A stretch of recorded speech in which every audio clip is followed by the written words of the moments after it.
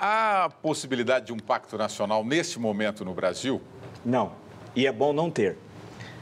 Porque o da Espanha foi depois de 40 anos de franquismo antes, uma guerra civil, 1936, 1939, tenebrosa, terrível, tal.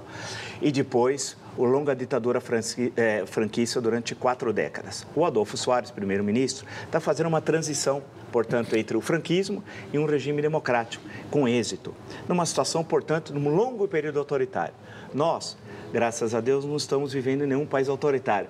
Nós vivemos com uma Constituição que tem seus defeitos, mas é a melhor da história do Brasil, Constituição de 1988. O que se vive agora é um problema que afeta a estrutura de Estado. Então, quando a presidente propõe, eu até anotei Pacto Nacional contra a Corrupção no começo do ano, em janeiro é piada. Ela é uma piadista, tá? ela podia trabalhar num programa humorístico, numa chanchada com o Grande Otelo, Oscarito, do, do passado, ou num programa agora desse da televisão de humor que a gente não consegue rir, né? Mas é chamado de humor.